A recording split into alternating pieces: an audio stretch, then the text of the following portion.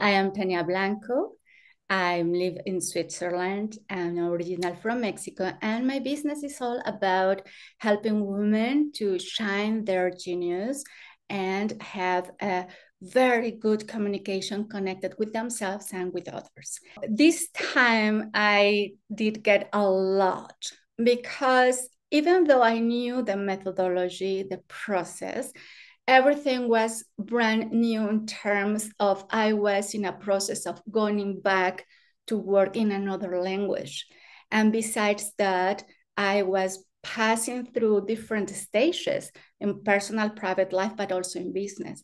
And doing it now with a new team that Sigrun has, that has a lot to bring, has a lot of experience, and also connects so good with people and can read almost our minds. It was such a beautiful experience. Besides that, going through the process put me into a, a mirror of what I need to improve, of what I need to change, gave me the opportunity to see where I am not creating good boundaries and to learn mostly the kind of people I want to work with and which I don't want to work um, in any way.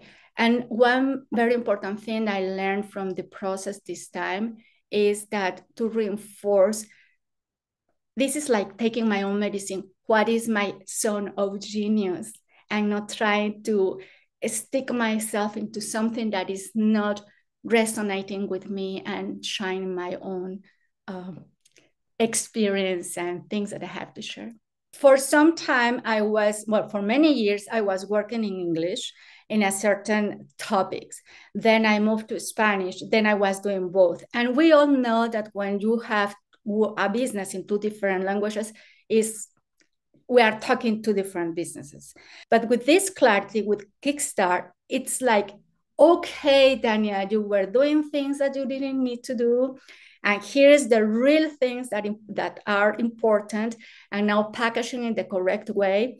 If you have already a business, like it was my, my case, Kickstart helps you to evaluate your business is part of the evaluation of business. Of course, it's the, the goal is to create something new, but at the end, it helps you to evaluate your business, to create a course or an offer that you can scale afterwards. And that is very important because there are the stage of starting, then the growing, and then the scaling. I'm not yet in the scaling part. It's about growing, but I can see it very clearly right now after doing this time, even though I have done it before, this is the first time I see it like that. Is someone of you who are thinking to join Kickstarter but are hesitating. I will tell you, give you the opportunity to do it.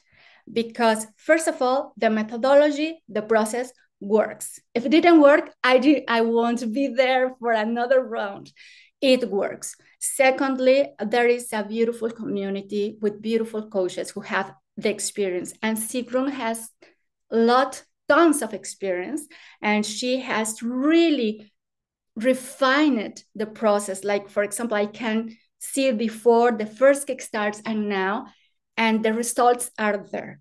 Sometimes are about numbers, but many times it's about what you learn.